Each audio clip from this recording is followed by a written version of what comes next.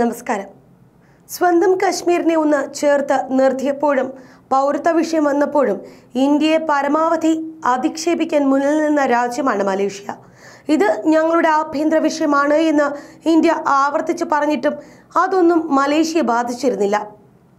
പിന്നീട് ശീതയുദ്ധം തന്നെയായിരുന്നു ഇരു രാജ്യങ്ങൾക്കുമിടയിൽ മുസ്ലിം രാഷ്ട്രമായ മലേഷ്യ വിഷയത്തിൽ പാകിസ്ഥാൻ പക്ഷം നിൽക്കുകയും മലേഷ്യയിലെ അന്നത്തെ പ്രധാനമന്ത്രി മഹാദിർ മുഹമ്മദ് അന്താരാഷ്ട്ര വേദികളിൽ ഇന്ത്യ വിരുദ്ധ പ്രസ്താവനകളും നടത്തി.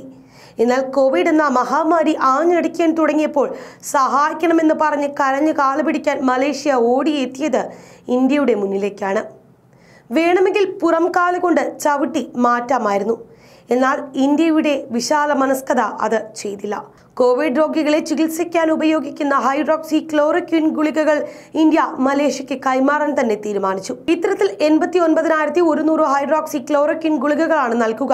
നയതന്ത്രപരമായ അഭിപ്രായ വ്യത്യാസങ്ങളെല്ലാം മാറ്റിവെച്ചാണ് ആപത് ഘട്ടത്തിൽ ഇന്ത്യയുടെ സഹായം എത്തുന്നത് ലോക മരുന്ന് വിപണിയിൽ എഴുപത് ശതമാനം ഹൈഡ്രോക്സി ക്ലോറോക്വിൻ ഗുളികകൾ ഉൽപ്പാദിപ്പിക്കുന്നത് ഇന്ത്യയാണ്. കോവിഡ് പത്തൊൻപത് ഇന്ത്യയിൽ ഉൾപ്പെടെ പടർന്നു പിടിച്ചപ്പോൾ കഴിഞ്ഞ മാർച്ച് ഇരുപത്തിയഞ്ചിന് ഹൈഡ്രോക്സി ക്ലോറോക്വിന്റെ കയറ്റുമതി രാജ്യം നിരോധിച്ചിരുന്നു.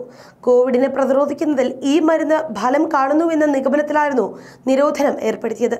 മഹാമാരി ബാധിച്ച അയൽ രാജ്യങ്ങൾക്ക് മരുന്ന് വിതരണം ചെയ്യുമെന്ന് ഇന്ത്യ പിന്നീട് വ്യക്തമാക്കുകയായിരുന്നു. മറ്റ് രാജ്യങ്ങളെല്ലാം തന്നെ ഈ രോഗത്തെ തുടർന്ന് തളർന്നു വീണപ്പോൾ ഈ തീരുമാനത്തിൽ നിന്ന് പിന്നോട്ട് പോവുകയായിരുന്നു ഇന്ത്യ. മലേറിയ ചികിത്സയിൽ പനി നിയന്ത്രിച്ചു നിർത്തുന്നതിനും ഇൻഫ്ലമേഷൻ പോലുള്ള അനുബന്ധ ശാരീരിക പ്രശ്നങ്ങൾക്ക് തടയിടാനുമാണ് ക്ലോറോക്വിൻ ഉപയോഗിക്കുന്നത്.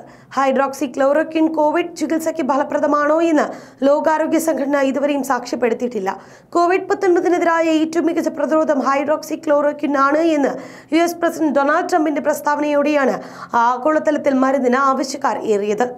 ഗുരുതരമായി കോവിഡ് ബാധിച്ച രോഗികൾക്ക് മറ്റ് മരുന്നുകൾക്കൊപ്പം ഹൈഡ്രോക്സി ക്ലോറോക്വിനും മലേഷ്യ പരീക്ഷണാടിസ്ഥാനത്തിൽ നൽകി വരികയാണ്. പത്ത് ലക്ഷം ഹൈഡ്രോക്സി ക്ലോറോക്വിൻ ഗുളികകൾ മലേഷ്യ ഇന്ത്യയിൽ നിന്ന് ആവശ്യപ്പെട്ടതായിട്ടാണ് വിവരം. മലേറിയയെ പ്രതിരോധിക്കുന്ന മരുന്നുകൾ കയറ്റുമതി ചെയ്യുന്നതിനുള്ള തടസ്സം ഭാഗികമായി ഇന്ത്യ എടുത്ത് മാറ്റിയെന്ന് മലേഷ്യൻ മന്ത്രി അഭിമുഖത്തിനിടെയാണ് വ്യക്തമാക്കിയത്. മലേഷ്യയിൽ ഇതുവരെ അയ്യായിരത്തി എഴുപത്തിരണ്ട് കോവിഡ് കേസുകളാണ് റിപ്പോർട്ട് ചെയ്തത്. എൺപത്തി മൂന്ന് പേരാണ് മരിച്ചത്. മലേഷ്യൻ പ്രധാനമന്ത്രി സ്ഥാനത്ത് നിന്ന് മഹാദിർ മുഹമ്മദ് പടിയിറങ്ങുന്നതുവരെ ഇന്ത്യയും മലേഷ്യയും തമ്മിലുള്ള ബന്ധം അത്ര ഊഷ്മളമായിരുന്നില്ല. കശ്മീർ വിഷയത്തിലും പൗരത്വ ഭേദഗതി നിയമത്തിലുമെല്ലാം മലേഷ്യ സ്വീകരിച്ച നിലപാടുകൾ ഇന്ത്യയെ ചൊടിപ്പിച്ചിരുന്നതിന് പിന്നാലെ പാമോയിൽ ഇറക്കുമതിയെ ചൊല്ലിയുള്ള അസ്വാരസ്യവും ശക്തമായി. പാമോയിൽ ഇറക്കുമതി ഇന്ത്യ നിരോധിക്കുകയും ചെയ്തിരുന്നു. ഇന്ത്യയിൽ നിന്ന് ചരക്കു നീക്കം വർദ്ധിപ്പിക്കാൻ മലേഷ്യ ശ്രമിച്ചിരുന്നുവെങ്കിലും ഇന്ത്യ വഴങ്ങിയതുമില്ല.